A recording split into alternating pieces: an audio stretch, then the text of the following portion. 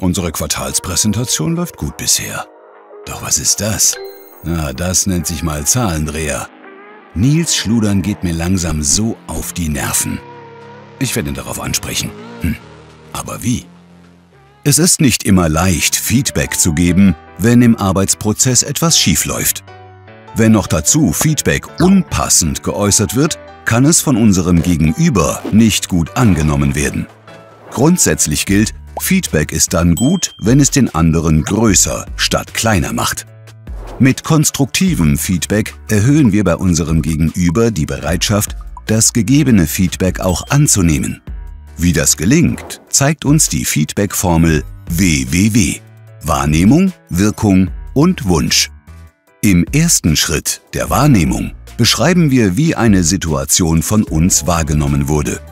Schauen wir dafür unser Beispiel mit Nils und Paul an. Statt zu verallgemeinern, in deinen Folien sind immer Fehler, achtet Paul darauf nur zu beschreiben, was konkret mit seinen Sinnen wahrnehmbar ist. Mir ist in unserer Quartalspräsentation aufgefallen, dass noch zwei Zahlendreher auf der dritten Folie waren. Im zweiten Schritt der Wirkung erläutern wir, welche Folgen das wahrgenommene Verhalten auf uns oder auch andere hat.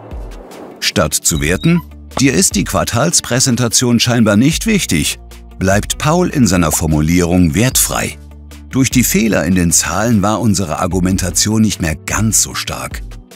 Der dritte Schritt, also der Wunsch, richtet sich in die Zukunft. Statt auf Problemen rumzureiten, jetzt haben wir nicht überzeugt, ist Paul daran interessiert, eine Lösung zu finden. Ein fest eingeplantes Gegenlesen könnte in Zukunft helfen. Was meinst du? Gute Kommunikation muss also nicht schwierig sein. Mit Hilfe von www schaffen Sie eine wichtige Grundlage, damit Ihr Gegenüber Feedback nachvollziehen und für sich nutzen kann. Das gilt für Verbesserungen, aber auch, wenn Sie Feedback zu positivem Verhalten geben möchten. So hat Ihr Feedback das Potenzial zum Geschenk, mit dem andere über sich hinauswachsen können.